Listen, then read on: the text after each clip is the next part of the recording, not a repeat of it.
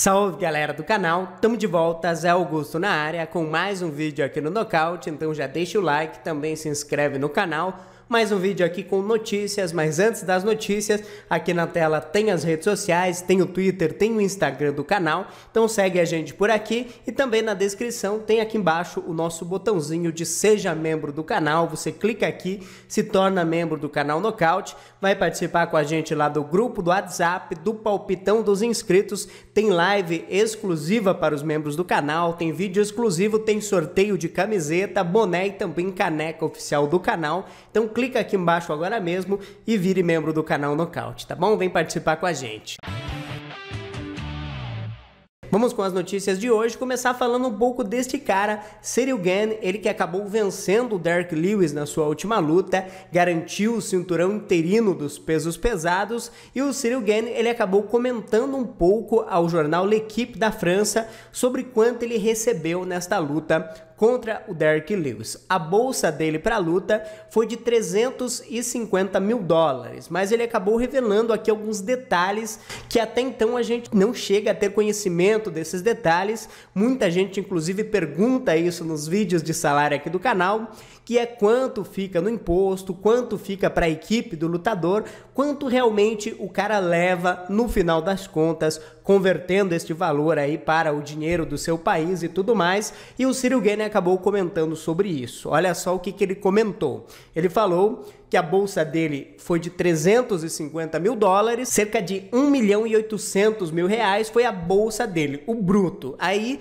ele acabou pagando a parte lá dos impostos, ele pagou a parte referente à sua equipe, ao campo de treinamento, e o que sobrou para o Cyril Game de 350 mil foi 188 mil dólares, ou seja, cerca de 987 mil reais, um pouco mais do que a metade do que ele tinha recebido aqui então na bolsa da luta. Era 350 mil dólares, ficou com 188 mil. Então, realmente é, o lutador ele ganha uma boa bolsa. No final, aquele vídeo de salários que a gente traz no canal é o valor bruto de quanto o lutador ele recebeu. Mas aí vem todos esses gastos, vem o imposto, vem a, o pagamento aqui dos treinadores, vem muita muita coisinha que acaba comendo um pouco mais do salário aqui do lutador. Lembrando que esses 350 mil dólares ele ainda teve 50 mil de bônus de performance da noite. Se ele não tivesse recebido esses 350 mil esse gasto dele aqui seria ainda maior, talvez ele não tivesse recebido nem estes 188 mil. Teria caído ali para 150, mais ou menos, tirando os impostos. Então, para a gente ter noção realmente que o lutador ele luta por um valor que muitas vezes não é tão justo assim. Apesar de ter lutadores ali que ganham para lá de 400 mil dólares, então também paga o imposto, também paga a equipe, também paga o treinador, então tudo gera um gasto para o lutador e muitas das vezes eles não saem com a maior fatia do bolo e o Ciro Gainer acabou provando isso aqui nessa reportagem ao jornal L'Equipe. Segunda notícia que eu quero comentar um pouquinho, este cara, Israel Adesanya, ele voltou a falar sobre o John Jones. Ele falou que não desistiu ainda dessa luta com o John Jones e ele também comentou sobre o John Jones como peso pesado e ele não está acreditando tanto assim que o John Jones vai realmente lutar de peso pesado. Olha só o que, que o Adesanya comentou. Acho que nunca veremos o John Jones lutar nos pesos pesados. Ele está dizendo isso desde 2013. Ou você consegue ou não. Eu subi de divisão apenas 3 anos depois de estar no UFC. Os caras me respeitam, até o campeão me elogiou. Acho que não é algo que qualquer pessoa consegue fazer. Ele está engordando sem motivos. Veremos se ele sobe de peso e lida com os caras lá em cima. Eu acho que ele pode, mas será que ele pode? Bem, tá então as palavras do Israel Adesanya. Sobre isso que ele comentou aqui, cara, realmente, se a gente for lembrar, o John Jones já tem tempão que ele fala em subir para a categoria dos pesos pesados. Não é de hoje que ele tem essa ambição de buscar um segundo cinturão, mas até o momento a gente não viu realmente é, esse passo a mais na carreira do John Jones. Ele fala, fala, fala em subir, tanto é que já abandonou o cinturão no ano passado para subir para a categoria dos pesados. Teve uma briga ali salarial com o UFC, não chegou a acordo e segue sem lutar. Então o John Jones já está indo para mais de um ano e meio sem lutar e isso só é ruim para o John Jones. Se a gente lembrar aqui que ele foi um lutador que teve um tempo parado por motivos ali de doping e agora quando ele está saudável, que poderia estar lutando, ele está aí ganhando peso, mas a gente não vê acordo, a gente não vê ele lutando. Então isso que o Adesanya falou aqui realmente, cara, eu tenho que concordar um pouquinho com ele. O John Jones está ganhando peso meio que à toa, já que a gente não tem nenhuma novidade de quando ele vai lutar. Foi oferecido recentemente para ele uma luta contra o Miotite, o Miotite chegou a aceitar a luta e o John Jones falou que não, só luto com o campeão.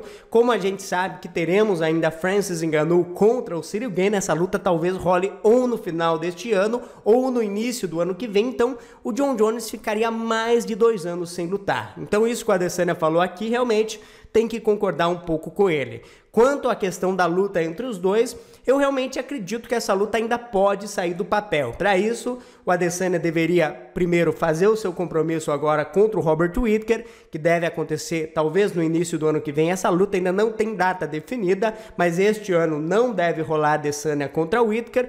No início do ano que vem, se ele vence o Robert Whittaker, sobe para a categoria de cima, tenta novamente o cinturão do meio pesado, dependendo do que acontece com o John Jones no peso pesado, se o John Jones volta para a categoria ali meio pesado, então essa luta ainda pode acontecer. Se o John Jones toma um nocautaço lá em cima do Enganu ou do Cyril Gane, ou mesmo ele não performa tão bem como ele esperava, ele pode novamente decidir voltar para o meio pesado e o Adesanya estando por ali, sempre é uma luta que todo mundo vai querer acompanhar. Então, vamos aguardar para ver, mas o Adesanya não está muito confiante de que o John Jones vai estrear na categoria dos pesos pesados. Aproveita e deixa a opinião de vocês aqui embaixo. E o último assunto desse vídeo, quero falar um pouco deste cara, Vicente Luque, o Luque que venceu Michael Chiesa na sua última luta, acabou finalizando o Michael Chiesa.